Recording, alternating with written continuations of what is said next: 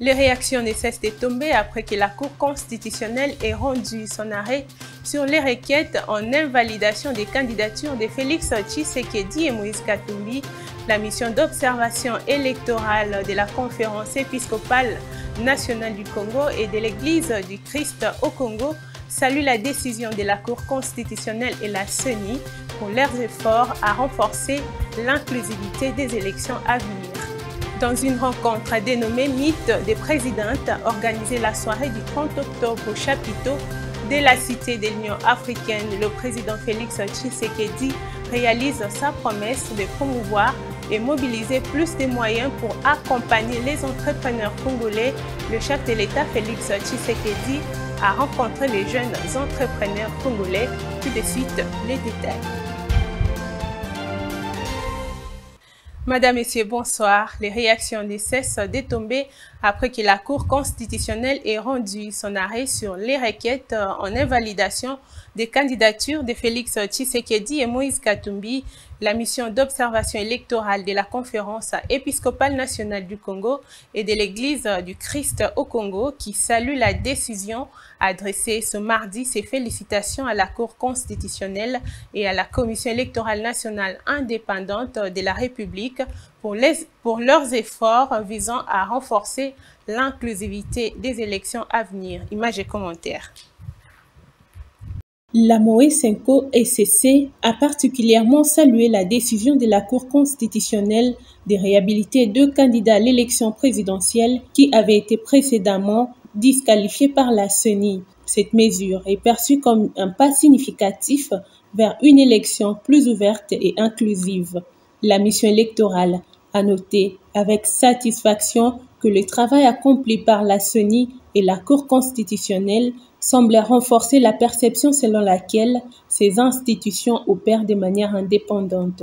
Toutefois, la MOE 5O SCC a exhorté ces entités à maintenir cette perception dans le cadre de leurs futures activités, notamment lors de la publication des résultats provisoires et du traitement des litiges électoraux. Parmi les points de préoccupation, la MOE 5O SCC a relevé que la CENI n'avait pas encore publié la liste définitive des électeurs conformément à la loi électorale.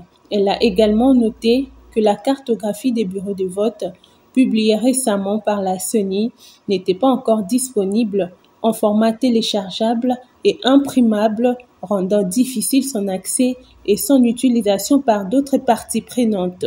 La MOE 5O SCC, elle a par ailleurs encouragé la population, les candidats, les partis politiques et la société civile à consulter la cartographie des bureaux de vote publiée par la CENI, car ces informations seront cruciales lorsque la CENI publiera les résultats par bureau de vote. La MOE 5O SCC a souligné l'importance de maintenir l'éthique et l'intégrité dans les processus électoraux en évitant l'utilisation abusive des ressources publiques à des fins de campagne électorale. Elle reste vigilante quant à l'évolution de la situation électorale en République démocratique du Congo et continuera à observer et à rendre compte de manière impartiale. Direction centrale électorale, la sécurisation du processus électoral, la question était évoquée au cours des échanges qu'a eu le président de la centrale électorale avec l'inspecteur général de la police nationale congolaise. La CENI a exprimé ses attentes de voir les élections prévues à la fin de cette année se dérouler en toute quiétude. Esther Amissi. La sécurisation de l'ensemble du processus électoral figure parmi les défis majeurs à relever pour la bonne tenue des élections qui pointent déjà à l'horizon. C'était donc l'occasion pour la haute hiérarchie de la centrale électorale d'exprimer ses attentes sur la question sécuritaire pour que les élections prévues à la fin de cette année se déroulent en toute quiétude. À l'issue de l'audience, l'inspecteur général de la police en a fait la restitution. Les élections dans notre pays, c'est l'affaire de tout le monde. L'équipe de l'inspection générale de la police, personnellement et mes adjoints, ceux-là qui nous accompagnent sont venus échanger avec la CENI. Personnellement avec le président de la CENI et son équipe, il y a eu échange entre l'inspection générale de la police et la CENI. Il nous reste maintenant qu'à travailler ensemble jusqu'au jour J pour que demain, les élections se passent très bien au pays. L'inspection générale a comme mission l'audit, enquête, évaluation, etc., etc., la police nationale. Nous voulons aussi entrer en danse. Pourquoi en danse Un, c'est pour évaluer le, travail que la police nationale va, faire avec, avec la CENI. Nous voulons voir le policier congolais se comporter très bien. Nous voulons sécuriser avec notre police le matériel et l'homme de la CENI. Pour rappel, la CENI prévoit l'organisation des élections générales le 20 décembre de l'année en cours, conformément au calendrier électoral. Actuellement, la centrale électorale s'apprête à publier la liste définitive des candidats à l'élection présidentielle et à la députation provinciale. On ne quitte pas encore la CENI. Le président de la centrale électorale s'est entretenu avec une délégation de la communauté économique des États de l'Afrique centrale conduite par Mangaral Banté, commissaire aux affaires politiques, paix et sécurité de cette institution dont le siège est à Libreville au Gabon. Les entretiens ont tourné autour des avancées enregistrées par le processus électoral qui vont ouvrir la voie aux élections de décembre 2023. On retrouve une fois de plus Esther Amis. Le numéro 1 de la centrale électorale a évoqué avec ses hôtes des avancées enregistrées par le processus électoral qui vont ouvrir la voie aux consultations électorales prévues le 20 décembre 2023. Nous sommes venus euh, rencontrer le président de la Commission électorale nationale indépendante et son équipe pour nous enquérir de l'état des préparatifs des élections générales qui vont se tenir en République démocratique du Congo en décembre 2023. Nous nous sommes entretenus avec le président sur les différents aspects de ces préparatifs. Il nous a exposé les problèmes que la CENI rencontre dans ces préparatifs, mais également il nous a entretenus sur les avancées déjà enregistrées dans ces préparatifs. Et selon l'exposé le, que nous avons suivi avec une attention très soutenue, les préparatifs vont bon train et euh, il nous a rassuré que le calendrier, les délais seront tenus pour ce qui concerne la tenue de ces élections. Relevons qu'après l'entrevue que cette délégation a eue au mois de mars 2023 avec la hiérarchie de la CENI, il était indispensable qu'elle revienne pour s'assurer que le processus est bien mené. Nous avons déjà effectué une mission préalable ici au mois de mars, lorsque euh, l'enrôlement des électeurs était encore en cours, mais depuis lors, euh, beaucoup d'événements se sont produits. L'enrôlement a été euh, achevé et aujourd'hui, la CENI est dans une nouvelle phase qui est celle de conduire le processus vers son terme. C'est pour cela que nous sommes revenus sur nos traces pour mettre à jour nos informations et nous assurer que le processus se déroule bien. Je le disais en titre, il réalise sa promesse de promouvoir et mobiliser plus de moyens pour accompagner les entrepreneurs congolais. Le chef de l'État, Félix Tshisekedi, a rencontré les jeunes entrepreneurs congolais dans une rencontre dénommée Mythe des présidentes organisée le 30 octobre au chapiteau de la Cité de l'Union africaine. Reportage. Et c'est le début le chef de l'État Félix Tshisekedi a échangé avec 120 jeunes entrepreneurs congolais venus de tous les horizons du pays.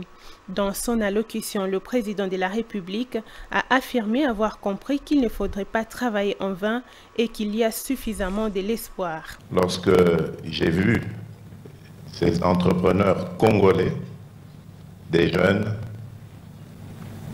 des femmes, des personnes vivant avec handicap, j'ai compris vraiment que nous n'avons pas travaillé en vain et qu'il y a vraiment un espoir dans notre pays et que surtout, surtout, que j'ai eu raison de croire dans l'entrepreneuriat congolais. Cependant, le chef de l'État a interpellé les entrepreneurs présents à cette activité en les encourageant à faire plus d'efforts en soignant les services et en s'acquittant de leurs devoirs. Cet échantillon représentatif d'entrepreneurs congolais a fait des témoignages sur les soutiens et l'accompagnement de leurs projets par les établissements publics qui travaillent dans leur secteur respectif. Il s'agit de l'autorité de régulation de la sous-traitance dans les secteurs privés, l'Agence nationale de développement de l'entrepreneuriat congolais, le Fonds de garantie de l'entrepreneuriat au Congo,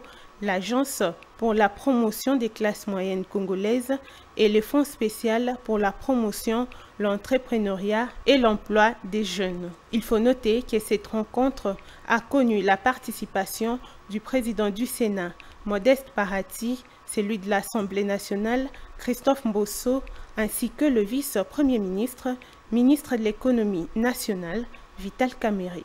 Je vous l'offre. Récurrence des naufrages sur le voie navigable de la RDC, l'Organisation de défense des consommateurs qui déplore ces tragédies appelle le gouvernement à prendre des mesures qui s'imposent en vue de venir au, au, bout de cette situation. Déclaration faite par Derek Chibangu, président de l'ODC. On l'écoute. Communiqué de presse numéro 124 bar CN bar ODC par 10-2023,